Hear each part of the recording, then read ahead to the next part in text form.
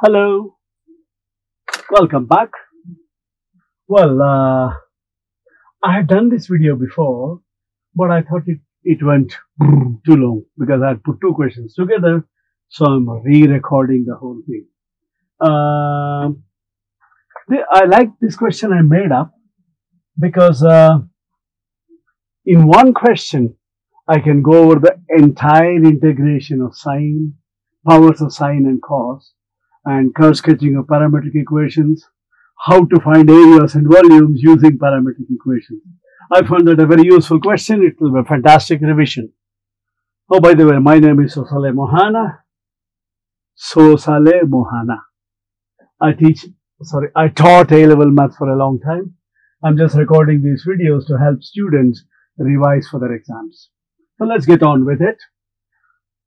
First part says, what I'll do is I've left those spaces so I can write the answers there. I've got integral sine power 4 theta cos squared theta d theta. All are even powers. How do we integrate even powers of sine and cos? Double angle formula. To use double angle formula, I require sine squared and cos squared. You have to use a bit of your brains here. So this becomes integral sine squared theta times sine squared theta. There is a reason why I am doing it this way. The reason being, I can write sine sine squared theta whole squared. But you see, sine squared theta is 1 minus cos, cos squared theta is 1 plus cos. Remember your GCSE formula, a minus b and a plus b makes it a squared minus b squared. So to use that formula, I am writing it that way. So it becomes integral half of 1 minus cos 2 theta, another half of 1 minus cos 2 theta, and a half of 1 plus cos 2 theta d theta. I haven't integrated yet. So that's an eighth integral. These two become 1 minus cos squared 2 theta.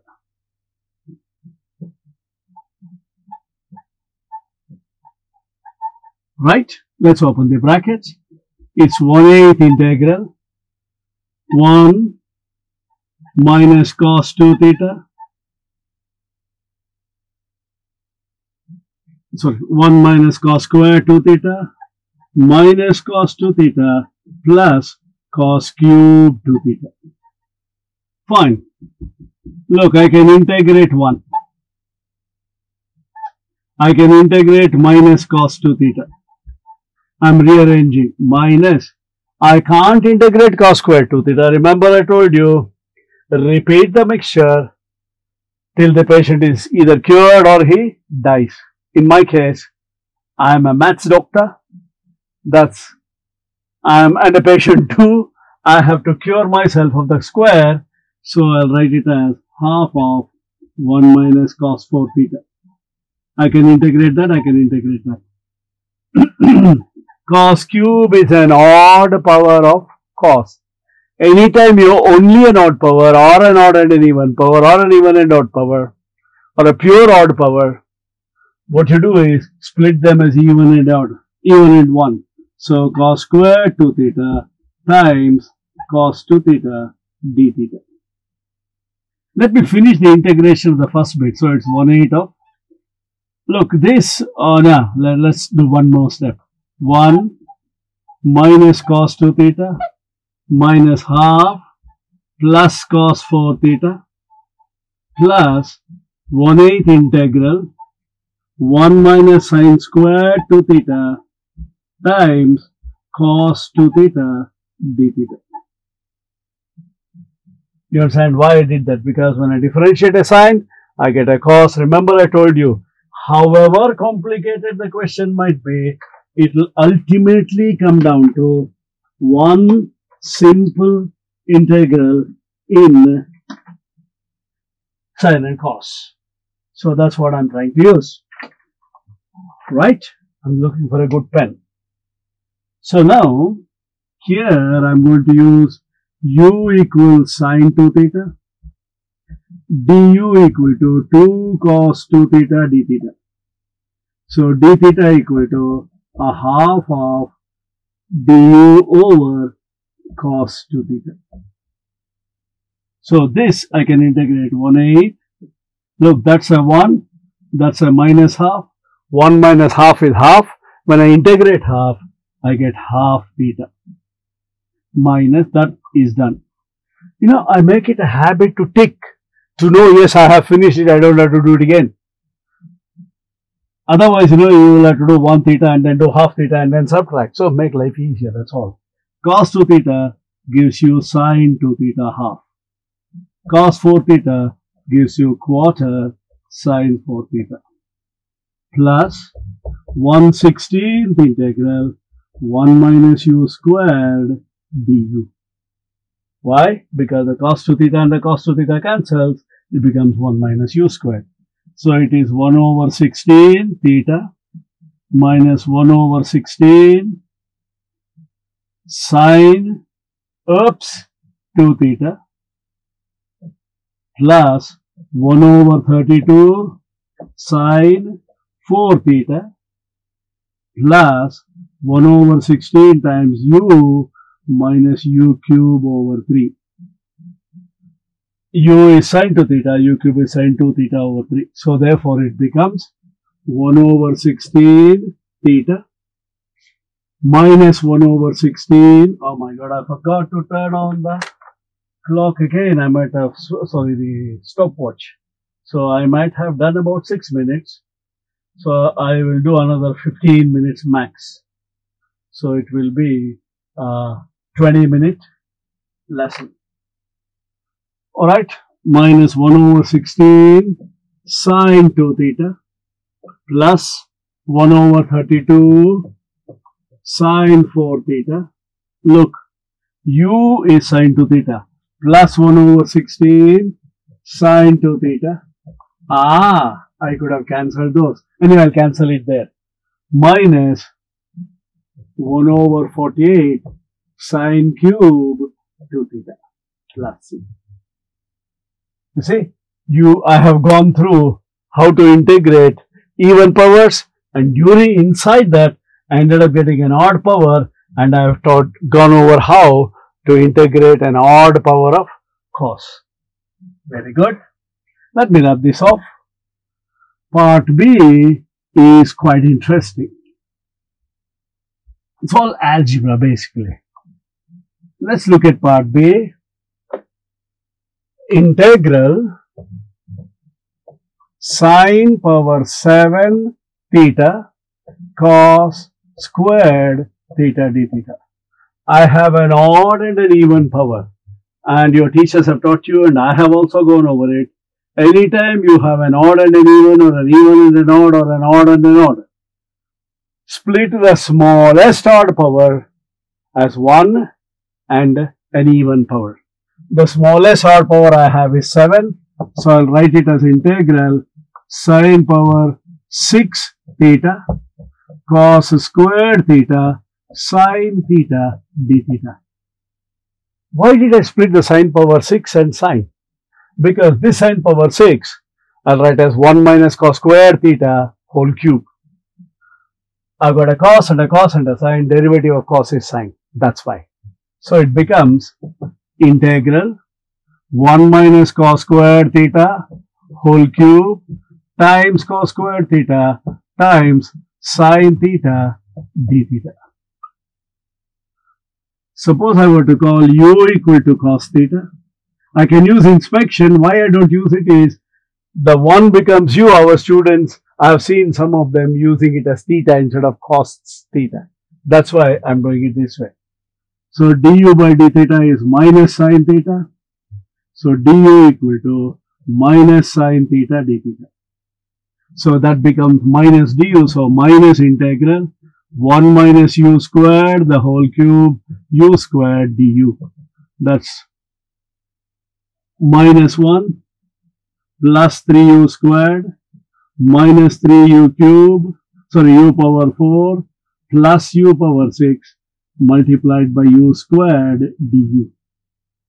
So that becomes integral minus u squared plus 3u power 4 minus 3u power 6 plus u power 8 du which is minus u cube over 3 plus 3u power 5 over 5 minus 3u power 7 over 7 plus u power 9 over 9 plus c. But what is u? Cos theta. So it becomes minus 1 over 3 cos cube theta plus 3 over 5 cos power 5 theta minus 3 over 7 cos power 7 theta plus 1 over 9 cos power 9 theta plus c. You might be wondering why am I writing those answers there? Remember I told you God gives us brains to use. If the question is parts A, B, C, D with some horrible integration in the beginning, if it's an exam question, they don't expect you to do all the integration again when you find areas and volumes, right? So they have some link with part D and part E. That's why I'm writing the answers. So when I do part D and part E, I just have to substitute. Okay. Let me confirm I am correct. Sometimes, you know, commit horrible errors. 1 minus 3 plus 3u squared. Oh yeah, there's a minus. So 1 minus 3u squared plus 3u power 4 minus u power 6. So minus 1 plus 3u squared minus 3u power 4 plus u power 6. Uh, right. Good. So having done that, let's go to part C. Part C says, I need to sketch the curve uh, x equal to a cos cube t, y equal to a sin cube t, 0 less than or equal to t less than or equal to 2 pi. Sorry, less than 2 pi. Remember I told you when it's a trigonometric function, find values from 0 to pi over 2, then use the behavior of sine and cos graphs to deduce the remaining. So, I'll put the values of t as 0, pi over 6, pi over 4, pi over 3, pi over 2. Those are all the things I need. And x equal to a cos cubed t. You know, I can do something. I'll forget the a. And uh, later on, in when I draw the graph, I'll bring back the a. Or is it going to be too confusing? Let's leave the a. Okay, let's leave the a. That's a, that is 0. Cos 30 is root 3 over 2. Root 3 over 2, root 3 cube is 3 root 3, 2 cube is 8, 3 root 3 over 8a. 3 root 3 over 8a. Am I correct? Root 3 cube is 3 root 3, 2 cube is 8, yeah. And that's 1 8a. For uh, root 2 over 2, so 1 over root 2, so 1 over 2 root 2, look, root 2 over 2 cube is 2 root 2 over 8 which is quarter root 2. So root 2 over 4a root 2 over 4a. That's the beauty of sine and cos. So this I can rewrite it the other way. a 1 8a and then that is 0 that is it. Uh, I leave it to you to use a calculator to find the values when you draw the sketch, um, okay, that is a, that is a, that is minus a, that's minus. I hope you realize both x and y cannot go beyond that. You plot in the ascending powers of a, that's t equal to 0, t equal to pi over 2. So the graph goes like that. I will leave it to you to find those points. Okay? Right. Using your calculator, obviously. Then, as you go from 90 to 180, cos goes from 0 to minus 1, So x goes from 0 to minus a. Sine goes from a to 0. So the graph comes like this. By symmetry, I can draw the graph like this. This is t equal to 3 pi by 2. That's t equal to 2 pi. t equal to 2 pi obviously is excluded. Have you understood how I sketch the curve? So sketch from 0 to pi over 2 and then use the concept of symmetry and behavior of sine and cos. Let me, for my use, I'll draw the graph there because I need the graph for the next bit. Remember, anytime you're asked to find, okay, I'll come to that when I do part C. Alright. So that is the shape of the graph. A t equal to 0, A t equal to pi over 2 minus A t equal to 3 pi uh, minus A t equal to 3 pi by 2 and of course that. I am asked to find the area enclosed by C. That means I'll find that particular area and multiply by 4. How do you find areas and volumes when it is parametric equations? The way you do it is very simple. Write down the formula integral y dx or integral x dy in terms of x and y. So let me do that. That is 4. So area equals 4 times y4 because there are 4 equal areas 4 integral 0 to a y dx. That's the very first step. Anytime you have an area or volume, write the formula in terms of x and y. Then I can substitute for y. y is a sine cube t. dx by dt is a cos cube gives you 3a cos square t and cos t gives you minus sine t. So I can substitute for dx. Change the limits. When x is 0, t is pi over 2. When x is a, t is 0.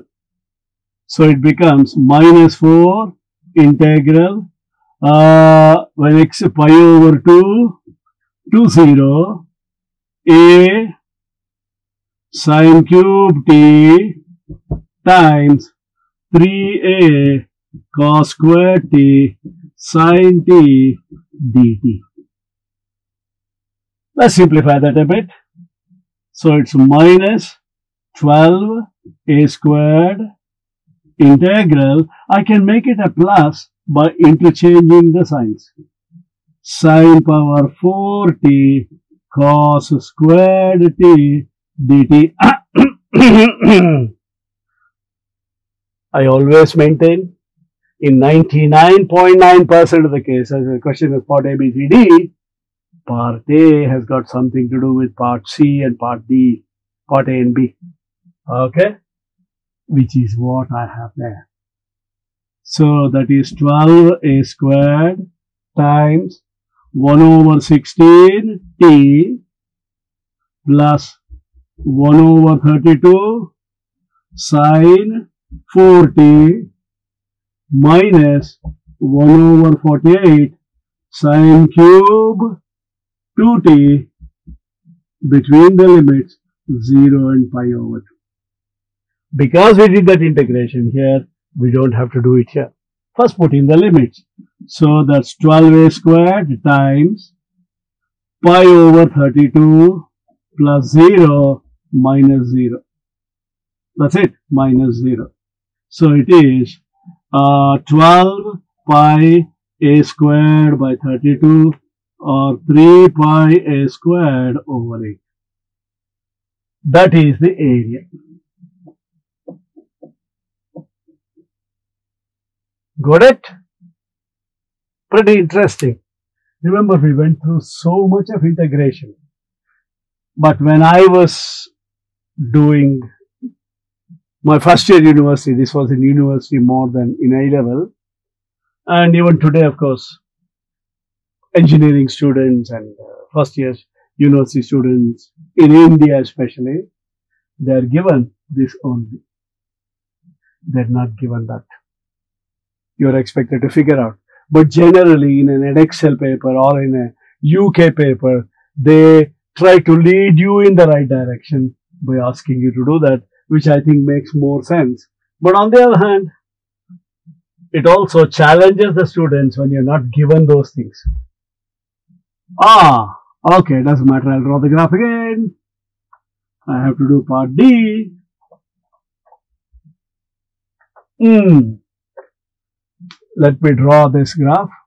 Ah, good. I rubbed it off. The area under the curve, that curve, from 0 to pi over 2 only. So I am only looking at that area. t equal to 0, that's A. t equal to pi over 2, that is A. This area is rotated about x-axis. So I end up getting a volume like that. I am asked to find the volume. How do you use uh, volumes or areas for uh, parametric equations? So it's pi integral 0 to pi over 2 y squared dx. That's pi integral 0 to pi over 2 y squared is a squared sine power 6 t dx is minus 3a cos square t sine t dt. Sorry, it won't be 0 to pi over 2, 0 to a. And the limits, remember last time I showed you, this becomes pi over 2, that becomes 0. Yeah, when uh, t is uh, 0, x is, uh, sorry, when x is a, t is 0, and when x is uh, 0, t is pi over 2. So I can interchange the limits. So it becomes 3 a cube pi integral 0 to pi over 2 sine power 7 t cos squared t dt which is what I did here. That was the reason why I did that. So it becomes 3 a cube pi times minus 1 over 3 cos cube t plus 3 over 5 cos power 5t minus 3 over 7 cos power 7t plus 1 over 9 cos power 9t between the limits 0 and pi over 2. So that's 3 a cube pi times look cos 90 is 0, cos 90 is 0, cos 90 is 0, cos 90 is 0, 0 minus minus 1 over 3 plus 3 over 5 minus 3 over 7 plus 1 over 9. Now I'll have to use the calculator or that's 3 a cube pi times 1 third minus 3 fifth plus 3 seventh minus 1 9. Let's do that. Use my calculator.